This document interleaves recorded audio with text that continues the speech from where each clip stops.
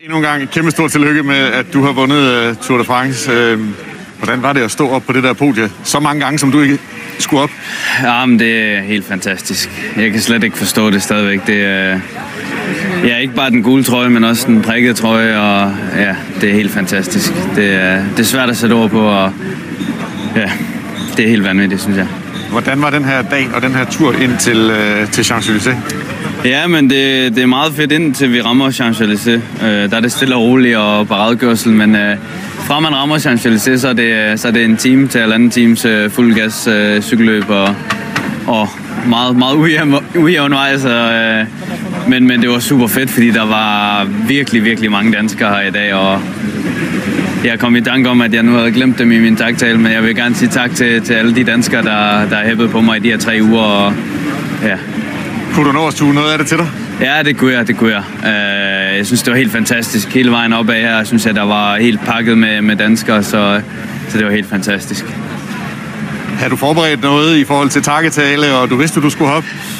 Nej, jeg havde faktisk ikke uh, forberedt noget, så det, det var sådan noget uh, sidste øjeblik sådan noget. Uh, så, men ja, jeg håber, at det gik okay alligevel. Det, det gik rigtig, rigtig fint. I er gode til at takke holdet jo.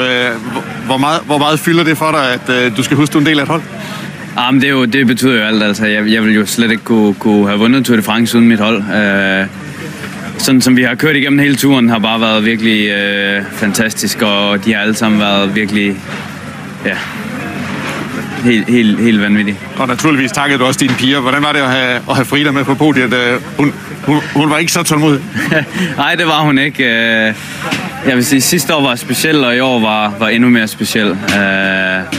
At have den gule trøje og have hende med op på podiet, det var, det var helt fantastisk. Hvornår tror du, det går op for dig, at du er Tour de France-vinder? Ja, det ved jeg faktisk ikke.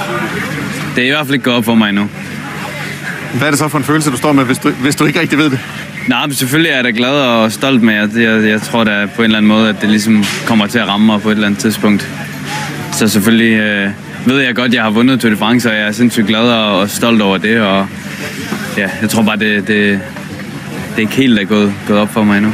Vi hører faktisk også fra øh, Emil Winnebo og Christian Moberg i studiet, at øh, du kan godt slå dig løs, når, når der er tid til det. Bliver, bliver det nu?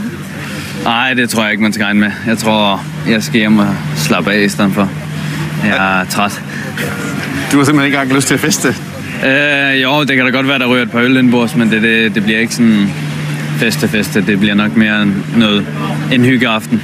Vi har set, at du har været en klart bedste igennem tre uger. Har det også været mentalt hårdt at, øh, at, at skulle, skulle være på hver eneste dag? Ja, nej, eller, nej, det ved jeg ikke. Altså, jeg, fra jeg tog førtrøjen, havde jeg egentlig tænkt, at det er en, det er en del af det, og øh, ville ikke rigtig irritere mig over det, for hvis man først begynder at irritere sig over det, så bruger man bare mere energi på det. Så jeg tog det som en del af det, og, og ja, det er gået så fint. Og sådan en tur her, giver det motivation for, at øh, der skal faktisk flere gule trøjer hjemme og hænge? Ja, men det ville da være fantastisk, hvis man kunne øh, vinde to Tour de France. Øh, først og fremmest vil jeg hjem og, og fejre min, min, min sejr nu, øh, men jeg vil helt sikkert komme tilbage for mere. Er der lidt tid til lidt ferie også? Øh, det, det ved jeg sgu ikke lige. Jeg, jeg, jeg ved ikke lige mit program herfra. Øh, jeg skulle have gjort uh, San Sebastian på lørdag, men det, det har vi valgt at, at jeg ikke gør alligevel. Så der skal, der skal være tid til at slappe lidt af? Det skal der. Glæder du dig faktisk allermest til at, at slippe for virvaret og komme hjem til, til Lyngøre sammen med familien? Ja, jeg glæder mig til på fredag, når vi kan ligge på sofaen hele dagen. Men inden der, der er der Tivoli. Hvad tænker du om, øh, om at få endnu en oplevelse der? Ja, men det bliver jo helt fantastisk igen. Det er øh, allerede til teampræsentationen var en af de største oplevelser i, i mit liv, og, og ja, det jeg glæder mig. Så bliver sløjfen ligesom bundet på, på onsdag med endnu en tur derind. Ja, lige præcis. Jonas Vingegaard, tusind tak for snakken, og endnu en gang kæmpe stort tillykke med sig. For det.